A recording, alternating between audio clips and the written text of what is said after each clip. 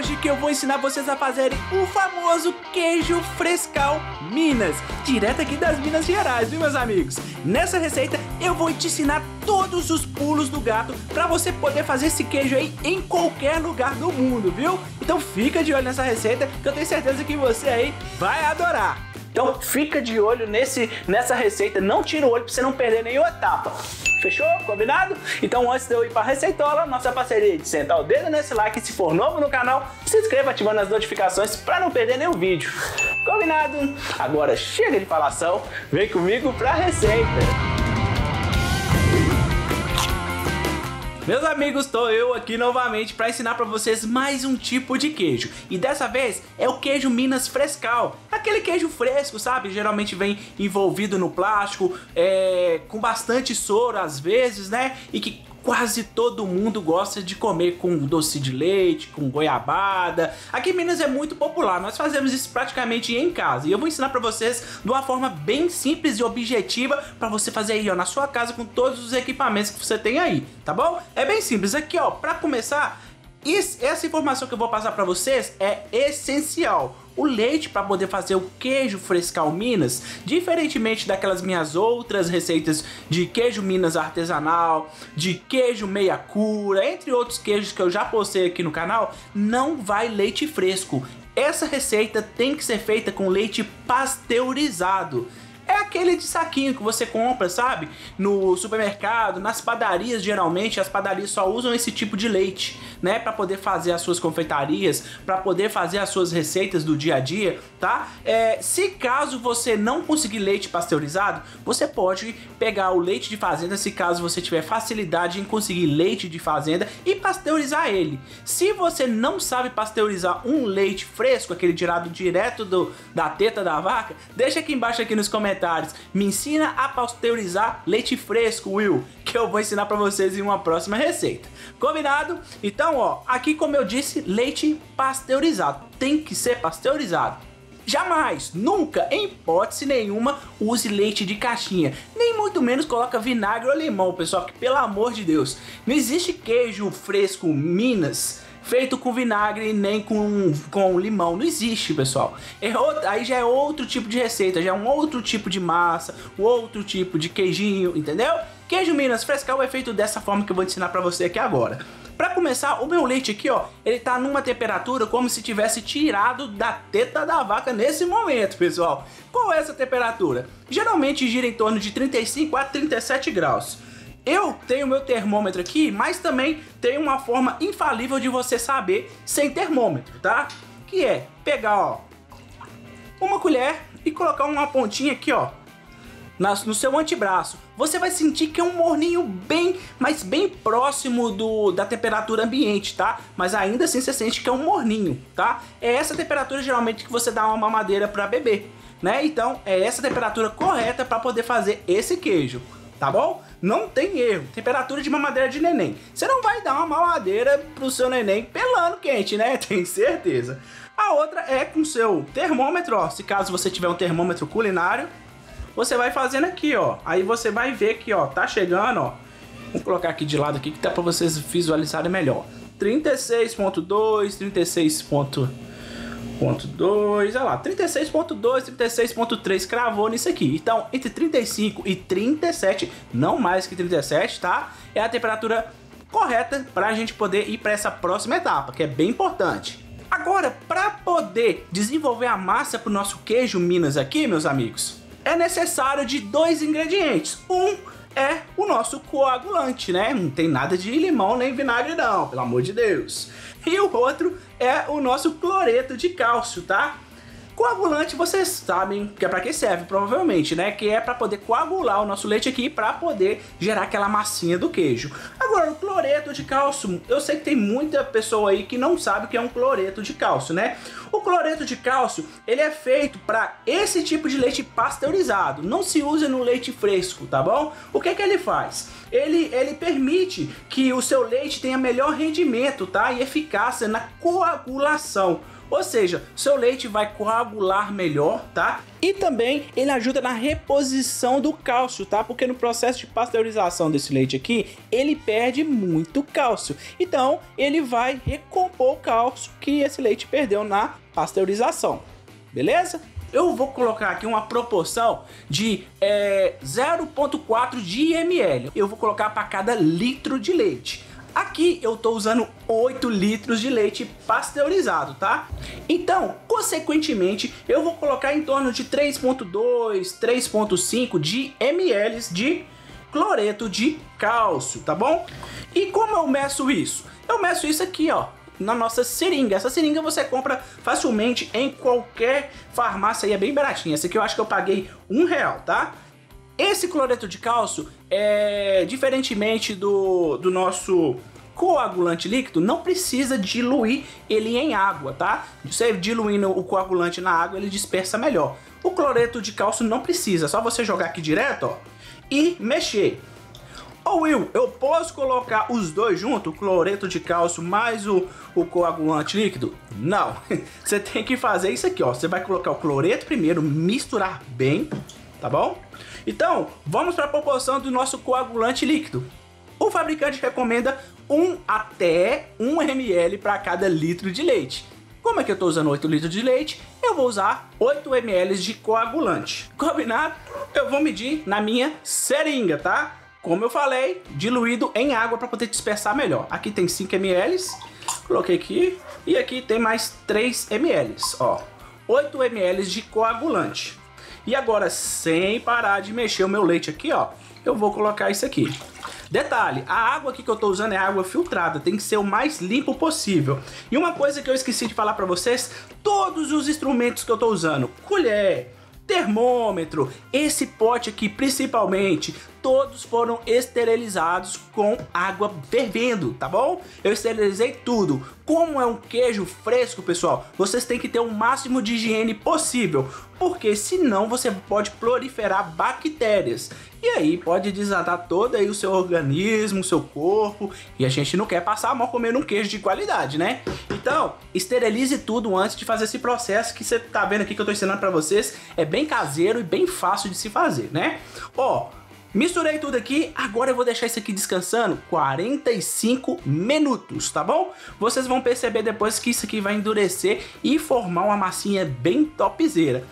Bom, passaram os 45 minutos, você pode ver aqui, ó, que ele formou uma espécie de gelzinho, ó, tá vendo? Então, ele coagulou com perfeição, meus amigos. Agora, o que é que nós vamos fazer? Nós vamos fazer o corte dessa massa. Bem simples, só você vir com a faca esterilizada, tudo tem que estar tá esterilizado, viu, meus amigos, ó.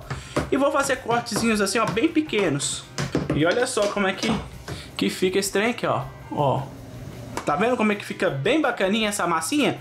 Um outro detalhe para você saber se coagulou com perfeição é se o soro ele tiver meio esverdeado, tá vendo aqui, ó? Ele tá esverdeado. Quer dizer que nossa coagulação aqui, nossa proporção de cloreto de cálcio tá perfeita, tá bom?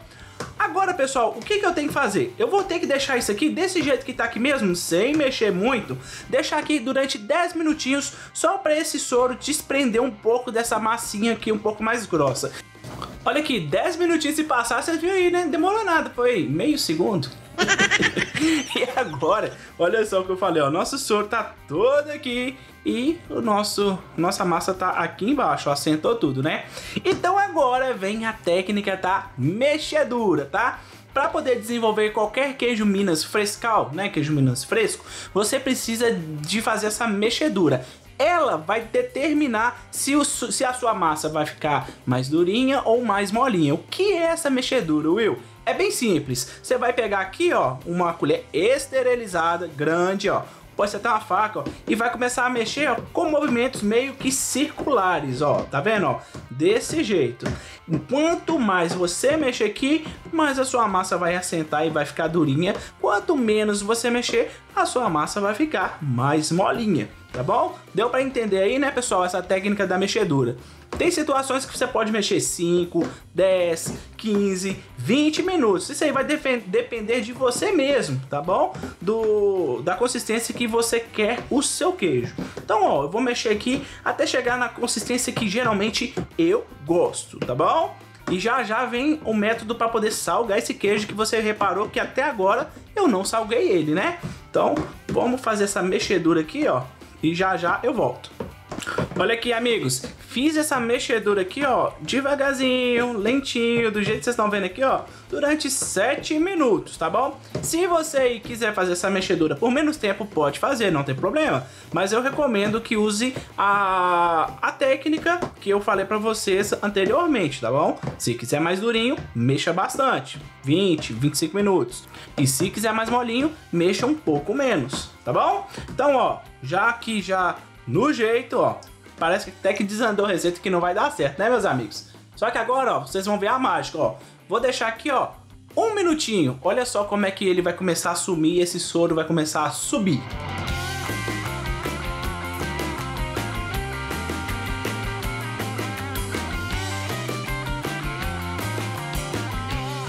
Viram aí como é que decanta bem rápido, né? Um minutinho e meio, dois minutinhos que eu deixei e olha só como é que ficou. Agora nós vamos começar a coar isso aqui. Vou colocar aqui a peneirinha e um balzinho, tudo esterilizado, tá? E vou vir com ele aqui mesmo, Você pode fazer isso até na pia da sua cozinha se você quiser, ó. E tá vendo esse soro aqui, ó, que ficou? Eu vou guardar em torno de duas xícaras, ou seja, 480 gramas, quase 500 desse soro. Amigos, eu treinei basicamente quase que todo o soro, foi umas uns 3 ou 4 é, cumbucas dessa aqui de soro, tá? Esse soro aqui ele é muito importante, tá? É, você pode usar ele para uma série de coisas, pode alimentar gado, já ouvi falar até que você pode aguar planta para poder nutrir, a planta nasce, é, cresce, né, com mais saudável, com mais força, tá? Tem muitas utilidades para esse soro. Se vocês sabem mais alguma utilidade para usar o soro do leite, deixa aqui embaixo para mim nos comentários, porque até bolo com esse soro eu já fiz. Se você não viu, clica aqui no card. Vou deixar ele de canto aqui, porque para a salga que nós vamos fazer aqui agora, nós vamos precisar de duas xícaras de soro, que gira em torno de 480 a 500 gramas, tá? Vocês podem perceber, ó, que eu deixei, eu drenei até ficar uma camada bem fina de soro, tá vendo? Para ele ficar no nível da massa, porque nós vamos salgar isso aqui agora. Existem três formas de poder salgar esse queijo.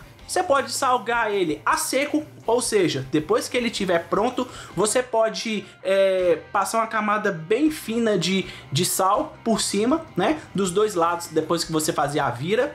Você também pode salgar ele no próprio leite. Naquela primeira etapa, quando eu coloquei o cloreto, o cloreto de cálcio, você poderia adicionar o sal também, tá bom?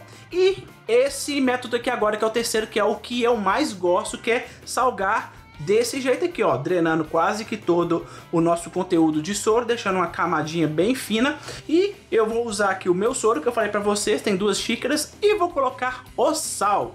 Esse sal aqui eu uso 10 gramas para cada litro de leite. Como eu estou usando aqui 8 litros de leite, eu vou usar 80 gramas de sal. Se você quiser um queijo mais salgadinho, você pode colocar mais sal. Se você quiser um queijo mais equilibrado, coloque essa quantidade que eu estou ensinando para vocês aqui.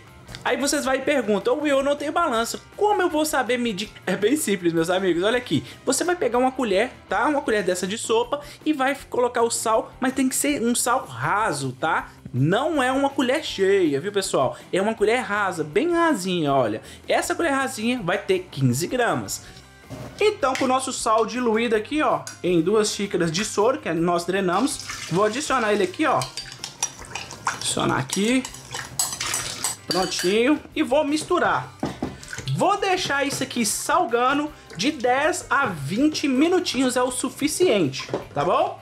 Se caso você for querer fazer salga a seco, você pode colocar duas colheres de sal grosso, tá bom? Na superfície do, do seu queijo. Se caso você quiser fazer é, salga no leite, como eu falei, você pode colocar a mesma proporção de 10 gramas para cada litro de leite. Então, vamos deixar esse aqui descansar para ele pegar o salzinho. Pronto, amigos, salga completa. Agora o que, é que nós vamos fazer? Nós vamos ter que colocar isso numa forma, né? E a forma que eu vou usar é essa tradicional para queijo, tá? Você encontra muito fácil pela internet. Aqui em BH eu compro no site que chama Lojas Matrem Casa e Construção, tá? Você acha bem fácil mesmo, é barato. Essa forma, se eu não me engano, custou 15 reais. Você vai fazer é, queijo aí a rodo, né? Como diz aqui em BH, vai fazer queijo a rodo. É, se caso você não tiver essa forma, não tiver condição de comprar ou não achar, é muito simples.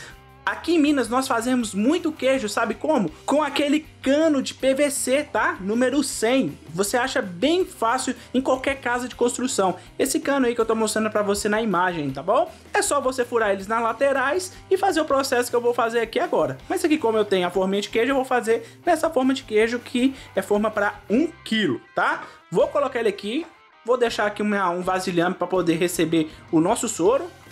E agora você pode colocar tanto, ó, com essa concha aqui, ó, geralmente a gente usa para pegar feijão, né?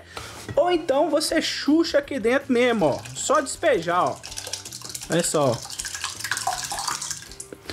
Você vai perceber que o soro ele vai saindo pelas pelas orif pelos orifícios, né? Olha lá, e o queijo vai abaixando, ó. Tá vendo, ó? Só você fazer esse movimento, ó. Se você quiser coar para depois colocar aqui dentro também pode fazer, não tem problema não, tá bom? Só que fazendo desse jeito aqui é bem mais rápido, bem mais prático, né? Do que ficar coando.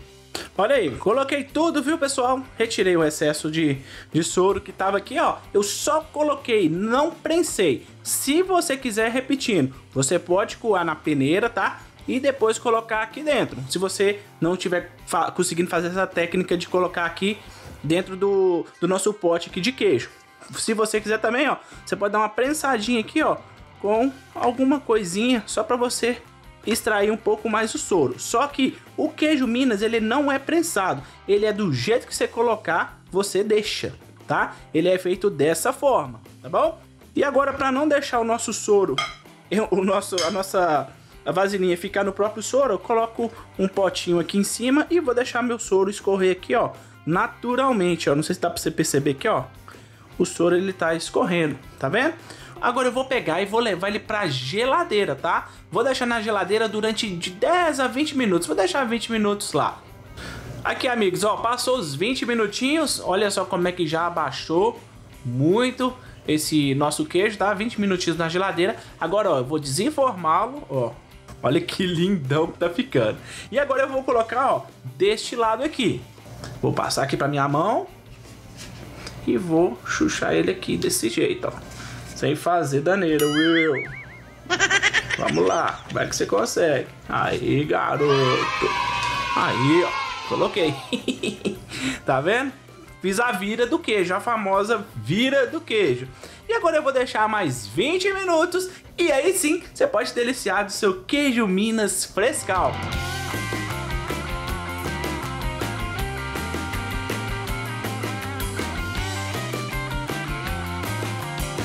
Você aí que tem saudade de Minas ou gosta de um queijinho Minas fresquinho, essa vai ser a sua receita do caderninho, porque é bem fácil de fazer e tem todos os pulos do gato, vocês viram aí, né?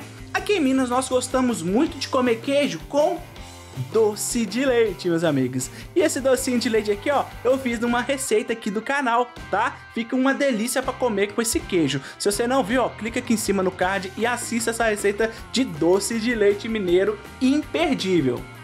Curtiram a receita? Se curtiram, não esquece, hein? Senta o dedo de compota nesse like, porque é uma receita que deu trabalho para fazer, viu? E se você aí é novo no canal, se inscreva ativando as notificações para não perder nenhum vídeo. E se você gosta realmente do canal e quer apoiar, seja membro. Combinado? Até o próximo vídeo. Fui!